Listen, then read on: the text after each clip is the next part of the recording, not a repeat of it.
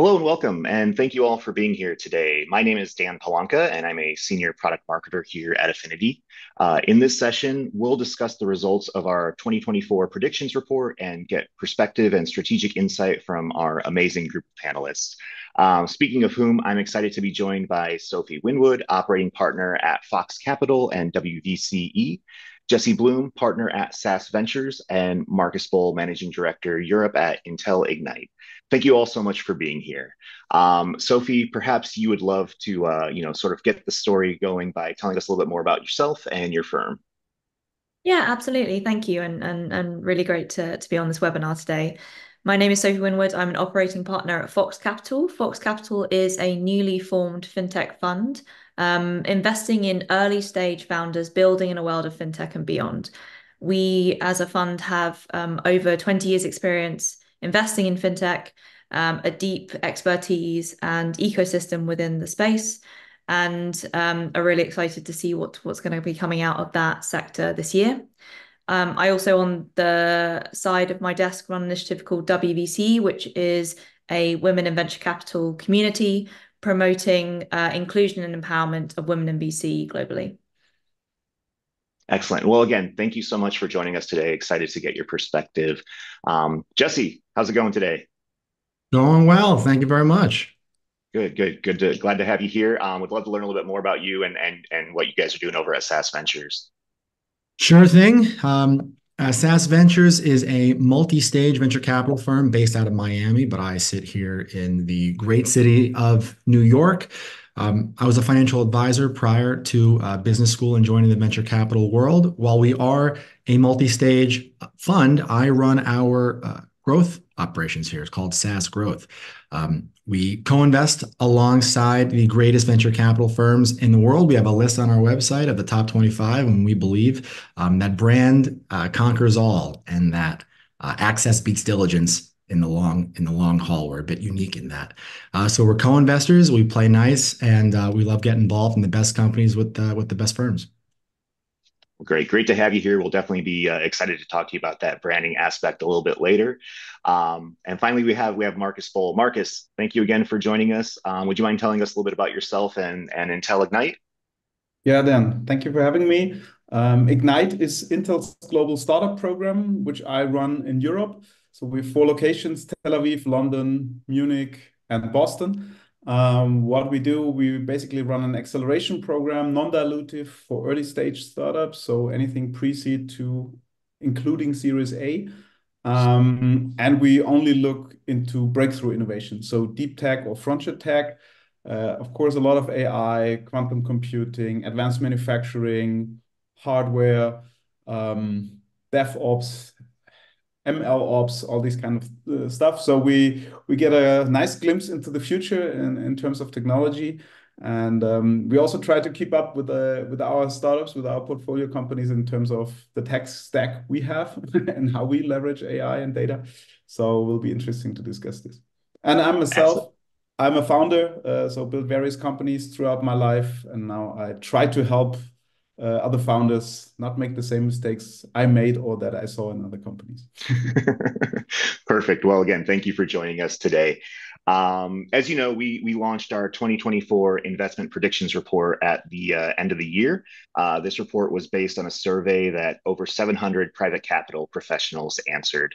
Uh, the three main predictions that we uncovered within that survey were that investors anticipate more deals in 2024 um, relationships and brand trust drive deals and AI will help overcome deal complexity in the coming year. Um, and we'll dig deeper into these predictions today. But to get us started, I would love to go around and see if there are any big themes or goals that you and your firm are focused on as we kick off 2024. Uh, Marcus, would you care to get us started? Yeah, sure. So um, I think not a surprise, AI will dominate. Uh, we see a lot of AI and, and getting broad adoption to that. Um, so far, we always had a, a vertical that just said AI, machine learning, computer vision. Meanwhile, nine out of 10 teams have this baked into their value proposition. Um, if not at the core, then, then a very relevant uh, level.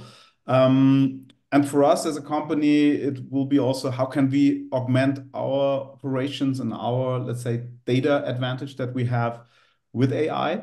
Um, to see more deals, to see them earlier, and and yeah, to to better understand how big is the pond and what are the fish we're we're looking for.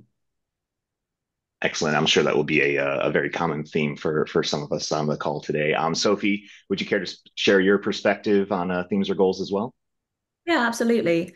So being a predominantly early-stage investor, so pre-seed, seed, early Series A, we've really um, not been as impacted by the valuation fall as, for example, the growth stage. However, it is really starting to come down, and we're hoping to see a level setting within the seed stage this year. So hopefully some more founders have ex- understand the market. They're um, they're more kind of aware of what is expected from a valuation point, and that means that we can kind of, as an industry, begin to reset from this kind of fall that's come back from the public markets and start to build again. And hopefully, with those more deals comes valuations that make sense for both the investors and the founders. Definitely. I think that's something we're all we're all hopeful for. Um, Jesse, would you love to share some of the big things you guys have going on?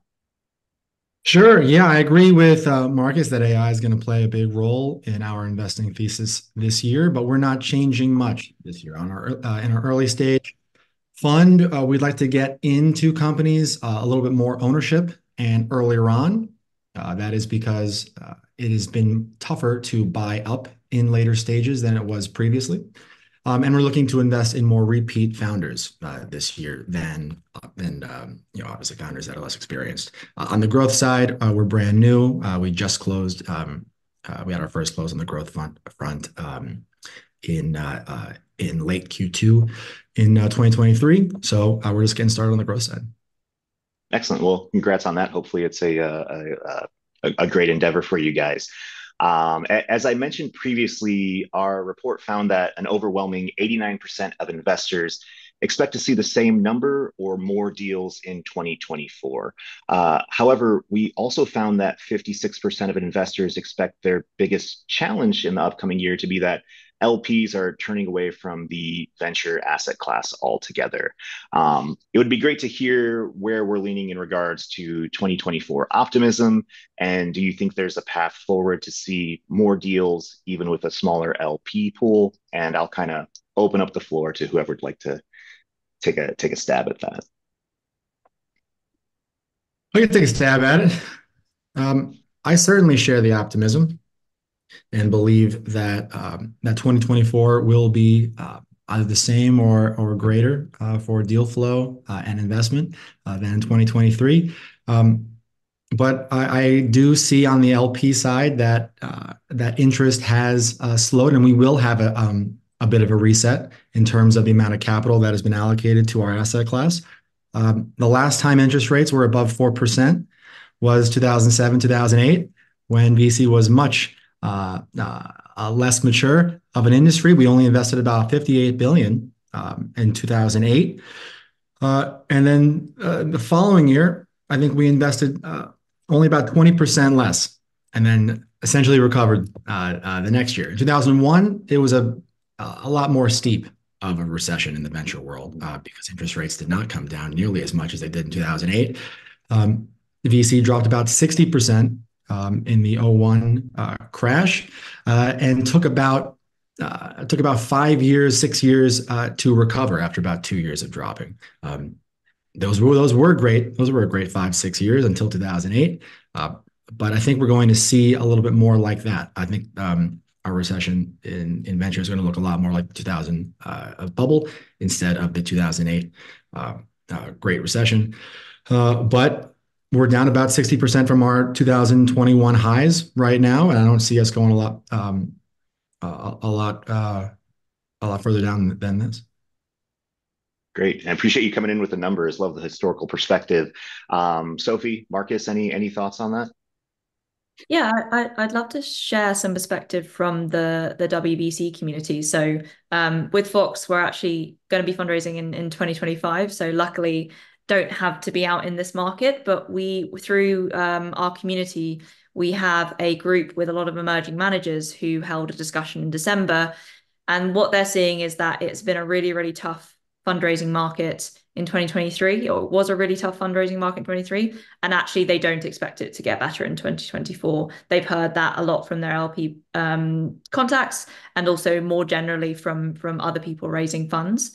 And so I think we will continue to see this kind of difficult environment for fundraising. But on the flip side, there still is a lot of dry powder um, within the venture capital industry. And so that's why I think it's not necessarily totally contradictory that we'll see um, an increase in deals, hopefully. I mean, as a venture capital investor, I do think you have to be an eternal optimist.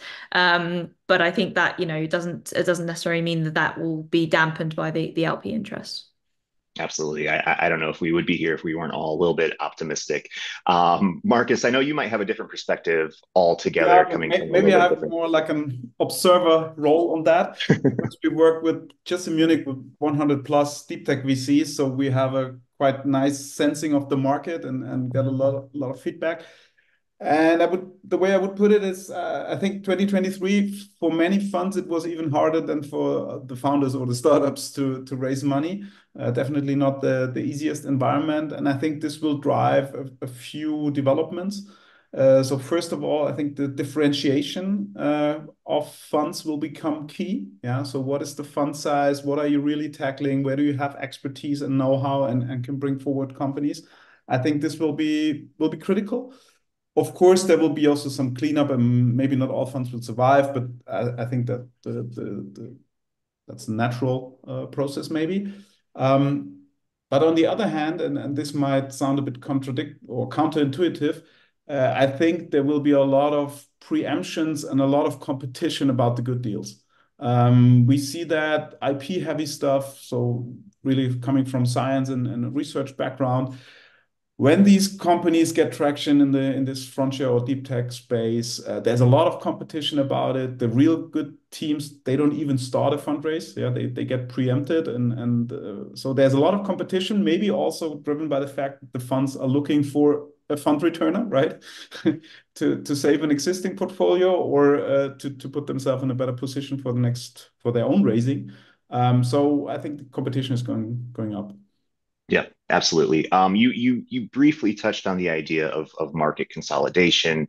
I'd love to open that up a little bit to the entire group as far as thoughts go on, you know, what we'll see in terms of firms being acquired or winding down this year and the impact that that could have on the uh, the greater market in general.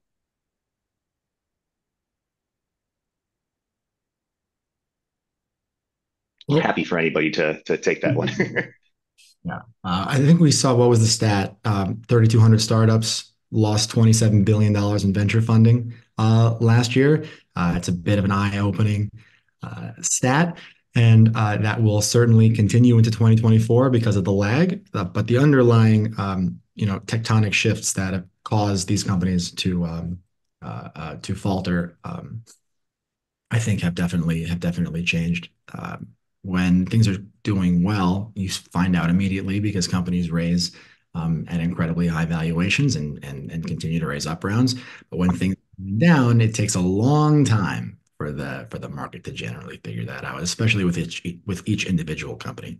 Um, so just because we are seeing more, uh, uh, you know, more companies go out of business, um, and we will be seeing more companies go out of business this year, uh, it doesn't mean that they didn't effectively go out of business last year.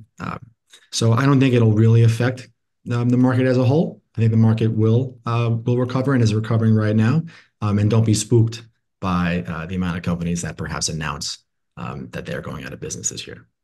Sure. I think that makes sense. I think, like you said, we maybe we've already seen some of those impacts just kind of passively. I would say regardless of where you stand, it's become obvious, as as Marcus, you mentioned, as you all sort of implied, that, you know, securing those great deals has become a lot more competitive, uh, a lot more challenging task than what we would have seen, uh, you know, two or three years ago.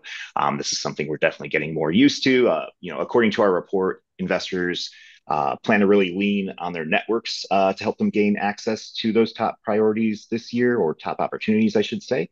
Um, one third of investors note that network building will be their top priority for 2024. Uh, an additional third of investors also told us that they expect over half of their deals to come from existing networks. Um, so, you know, with that in mind, what what is the importance of of relationships and brand trust to your teams? And uh, where do you anticipate seeing the most value uh, from your networks in 2024? Jesse, I know that this is uh, you know something that you're very passionate about, as you mentioned in your intro. Would you like to kick us off on this one? Yeah, sure. Brand power and brand value is the most important part of our thesis. We like to co-invest with the best funds out there, and especially on the growth side. Um, brand is um, brand is key, I believe, in venture capital. Way different than any other asset class out there.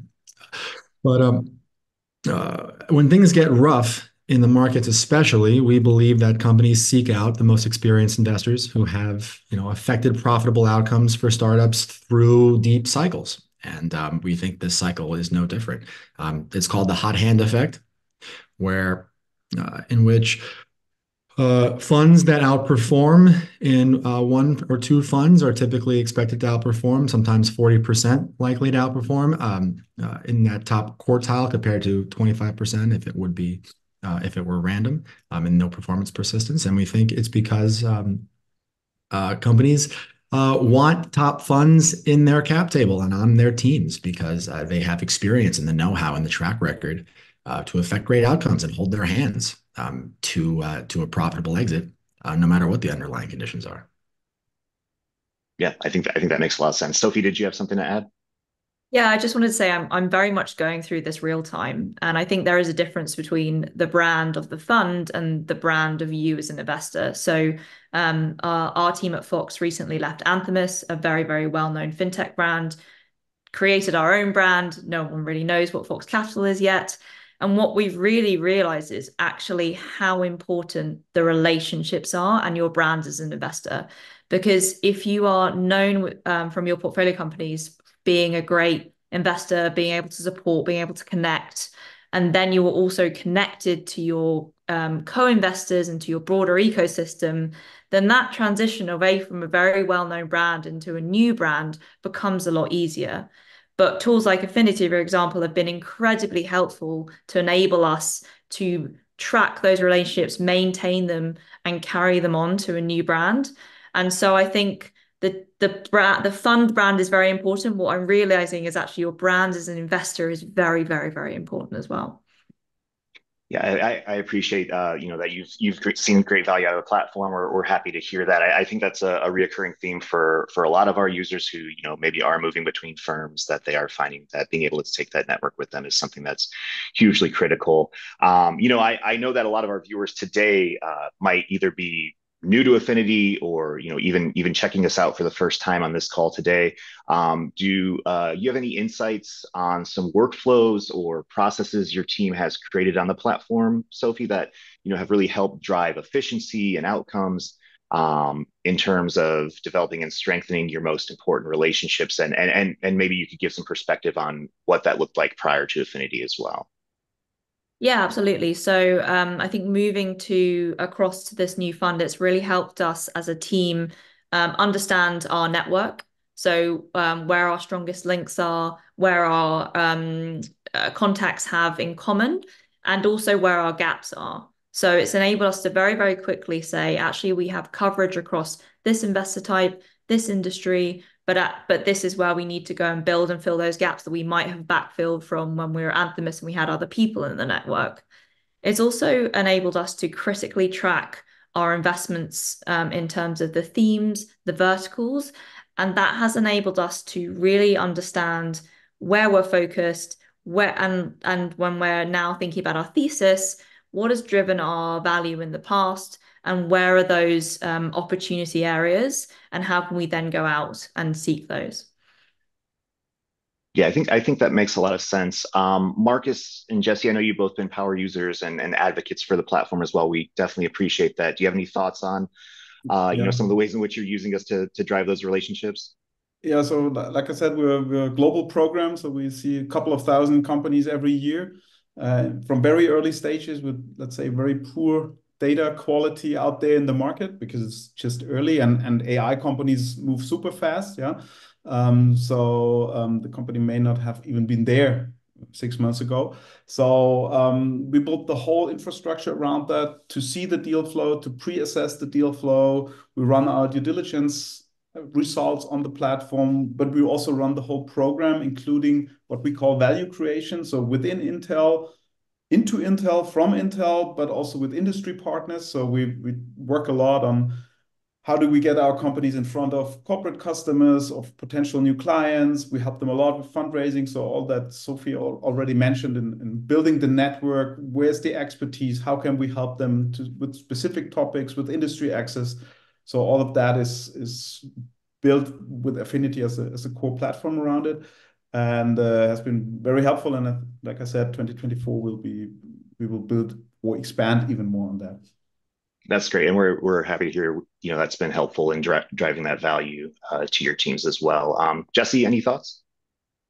Sure. Anyone who knows me knows I'm a big Affinity fan, and I brought my previous fund Alpha Partners over to Affinity from from Salesforce IQ, which I believe no longer exists. And my current fund, SaaS, I brought them over to Affinity from a combination of Airtable and Trello. But um, I'm a big fan, and if anyone on the call needs a, uh, you know, a specific demo on how I use it and how I've and how I've used it to build my network over the last couple years, um, I'm more than happy to do personal demos. I've been doing that now for a while, but uh, um, I could talk about it uh, uh, quite in depth. But one big process that we use here at SaaS is um, team team introductions. So for example, sending introductions to our portfolio companies for our portfolio companies to other investors when they're raising follow-on rounds. Um, uh, previously or without Affinity, oftentimes you have a Rolodex, something that's cold, um, sort of dead information of email addresses and, you know, maybe uh, notes on what funds do. But um, with Affinity, it's pretty easy to coordinate with your team and your outside external network to figure out who knows whom best at the most relatable, not relatable, but the most related and relevant funds, Um, and to track those um, as a project management system as well as a relationship database. So um, uh, so making introductions has been uh, uh, incredibly effective through Affinity, and managing that process for each individual portfolio company is really helpful. Well, that's that's great to hear. Jesse, you might be happy to uh, know that we are in the early stages of developing some reporting around uh, introductions as well to make it a little bit easier both for you to share internally and to uh, share with your portfolio or with your, you know, with with your with your company's markets as far as the value that you are delivering. So um, hopefully save you guys a couple of headaches there, and I'll definitely keep you in the loop as that's as, as there's more news on that. Um, Would love to uh, would love to shift gears a little bit. We've touched on it a few times, the idea that, you know, AI is going to play a big role in 2024. Um, we heard from 84% of investors that they either have already invested in AI uh, or they plan to invest in AI in 2024 to improve deal flow processes. Um, While we've also heard that the sheer amount of data investors need to stay ahead has also increased, with 30% of firms now using at least seven unique data sources for deal sourcing alone. Uh, to the floor, I'd love to ask, where does your firm stand today on the AI spectrum? Do you have thoughts on how it's going to impact deal-making overall in in 2024? Uh, maybe maybe I'll start with Marcus, as you've you've brought this up a few times. Love to get your your insight here. Yeah, um, again, a global program, so tons of different sources, tons of different geographical, uh, uh, let's say, differences. Um, so how we use it, we use, uh, let's say, Affinity as the central hub for all this data. So we connect several external data sources. Some you can license, some where we have our own tools in place to to screen the market, let's say, and to really source initial, let's say, leads, not even deals. Um, but we also use or we augment this via an AI tooling, a basic simple model for us to pre-filter and pre-evaluate deals and then to serve it and see where does it go into our deal flow. But as our most of our deal flow so far has come from recommendations, mainly from VCs, so 90% of the deal flow stems from VCs, we use this also to circle back to VCs and say, look, this is what we see. Does it reflect in your deal flow? How do you see that? And for us, it's important to stay connected to these companies early on, even even if it's too early for us, for our program or for these things. So like a market sensing. This is this is critical for us. Um, and on the other hand, we also use this, like I mentioned before, to to to trace back the value we create for these companies, for the funds, for companies, but of course also for Intel. And doing this the right way creates a ton of data, which is super valuable uh, and, and, and helps us also going forward. Um, but this is where we use Affinity, yeah.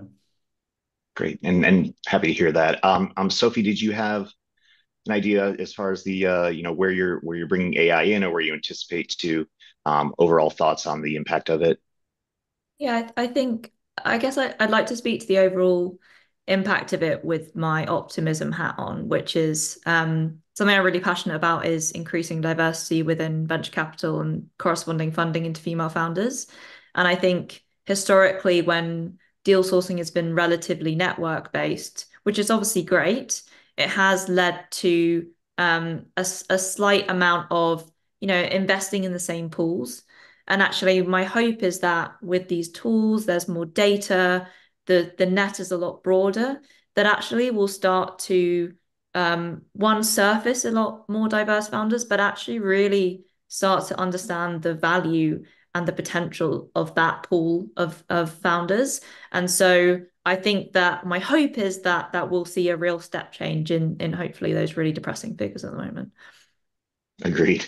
Um, and Jesse, I, I, know that maybe you'll challenge me on this word, but I know you're taking a little bit more cautious approach when it comes to uh, AI uh, so far. Would you love to, uh, you know, sort of give your perspective on that and where you see it having an impact on either your team or the market in general?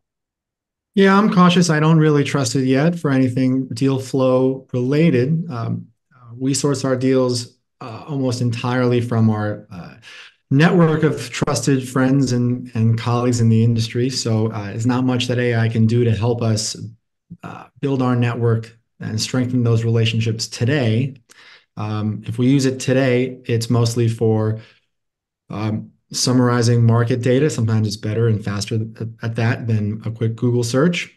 Um, but tomorrow, uh, we are uh, we believe that we'll be able to optimize our personal workflows, things like um, uh, scheduling and um, maybe pass emails, unfortunately, but uh, to use those to sort of leverage our time and spend um, spend more, you know, uh, brain power on the things that really matter, like uh, spending quality time with our connections and um, and building and building trust in the uh, in the industry. Yeah, I, I think that that's um, you know that's something we're hearing from a lot of investors is that they're using it um, first and foremost to um, either modernize or you know sort of reduce the labor that goes behind a lot of those manual tasks um, and then as that evolves we'll start to see people maybe trust a little bit more of their their overall deal process decisions or strategy um, not fully to ai maybe but start to bring it in as they gain more trust in that system um, you know in, in terms of um, data sets. Uh, I would love to hear about you know how your firms are, are gaining the most value from bringing in more data, are there any processes you're focused on this year to become a little bit more data driven? Um, Sophie, maybe you'd like to speak a little bit to this. Yeah, I think um, I, I imagine I can't be as helpful as as I imagine others on the call because we're just starting out. But I think that's the a really exciting thing about starting a new firm is that you have a clean slate. And I think actually the timing of this with the innovation within AI applications, data sources, and tools for venture capital is really, really interesting. Um, so yeah, we, we're in the moment we're in the, our market, we're assessing kind of the different data sources that we can pull in, and, and then evaluating how um, how we can move forward on that. Excellent, um, Jesse. Any any thoughts on that?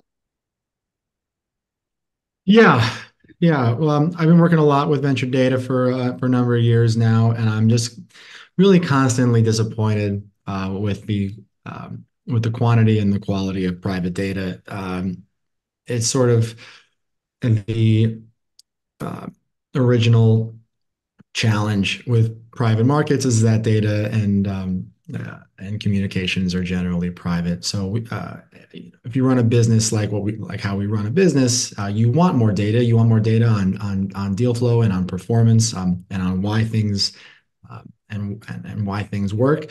But unfortunately, um, you know, unless you're working with you know, peer-reviewed articles um, uh, in respected journals, uh, there's really not much data that you can trust uh, uh in the industry. Um, uh, and the more you sort of settle on a metric to um, uh, to measure performance and measure activity, the more it sort of becomes a game system, something. Um, and I think that's um, and I think that's relatively true.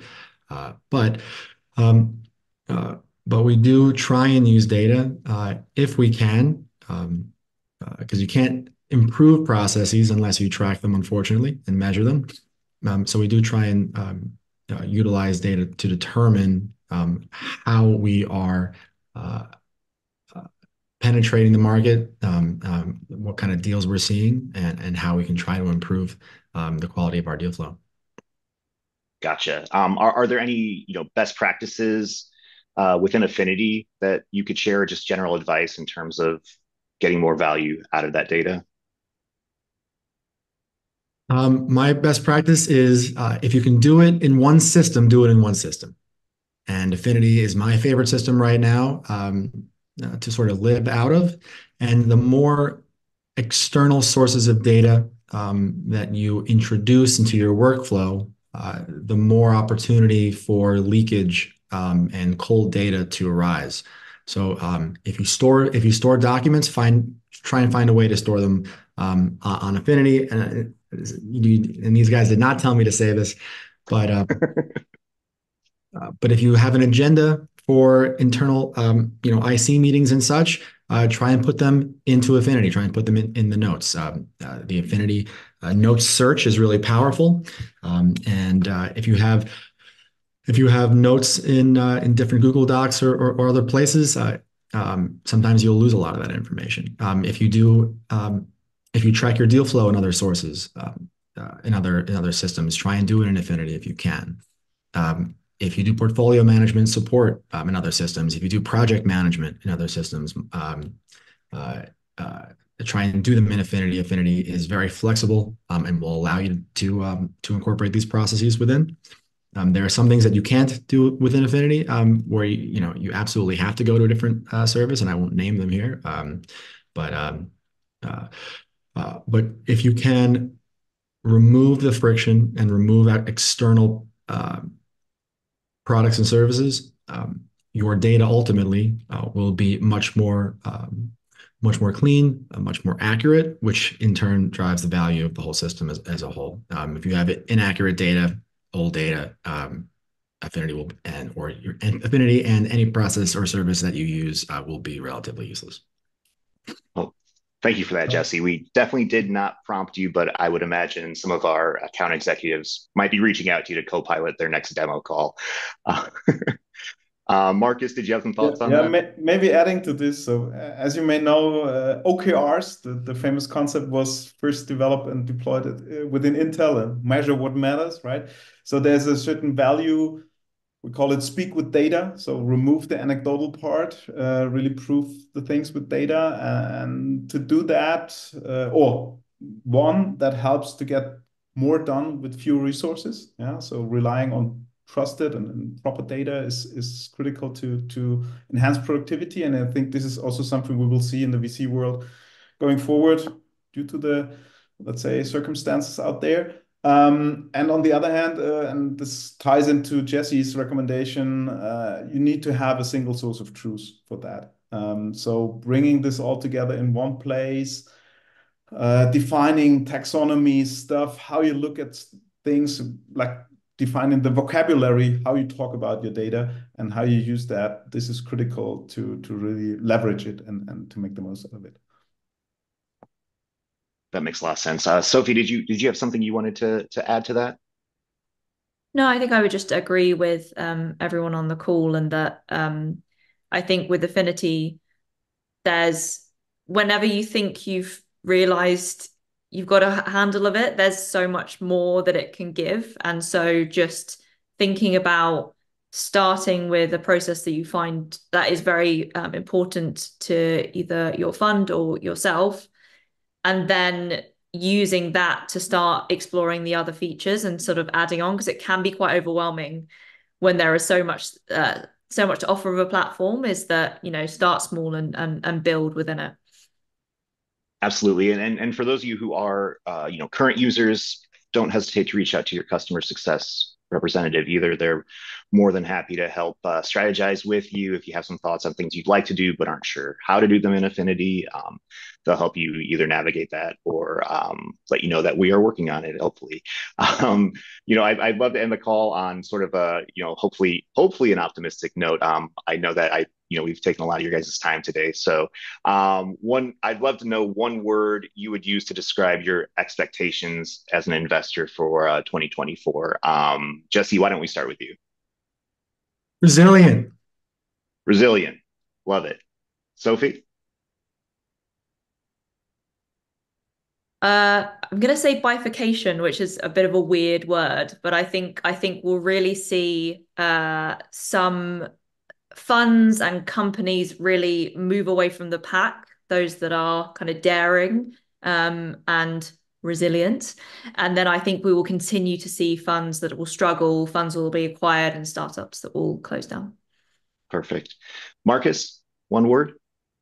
Yeah, more on the startup landscape, what we will see there on a technology perspective, it's two words, but I would say it's AI everywhere. AI everywhere. Love it. Awesome.